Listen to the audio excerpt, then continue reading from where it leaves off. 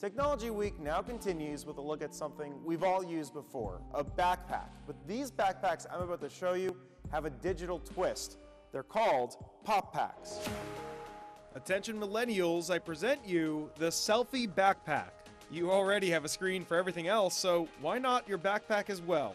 Put your dog on the screen, your friends. You can even snap a photo and send it to your bag immediately, kind of like these lovebirds are doing right here. So how does this all work? It turns out there's a 10-inch display inside the backpack that connects to your phone through Bluetooth. CNET reporter Claire Reilly says the screen is pretty durable. It's flexible, shatterproof, kid-proof and waterproof, and best of all, it is super lightweight. These backpacks will be unveiled this spring and will cost 99 bucks. This is Jack and Casey, and this is their new Snoo, the smartest baby bed ever made. Shh, sorry. Now we're heading to tech for an even younger crowd. This is the happiest baby Snoo.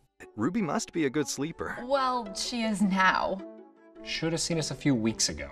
Thanks for making coffee, hon. I didn't make coffee.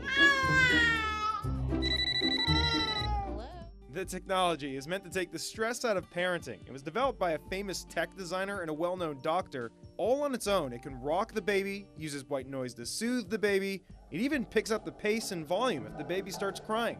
It's supposed to replicate what it's like in the womb. This changes everything. One thing that might make you cry like a baby is the price tag, costing over $1,100. Yikes.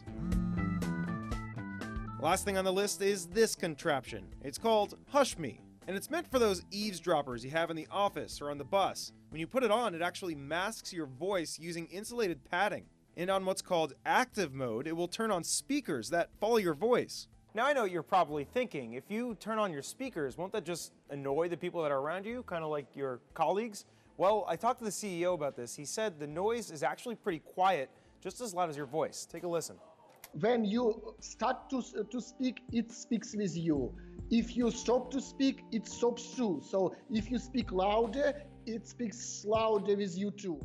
So what did you think about today's tech? Would you try the backpack, the Snoo, or the Hush Me? Let me know on my Facebook. Plus, Tech Week's not over. Tomorrow, I'm trying these bad boys on. These are smart shoes. They're supposed to tell me when to take it easy and when to run hard. We're gonna find out if they truly work. Until then, I'm Evan Koslof, WUSA 9.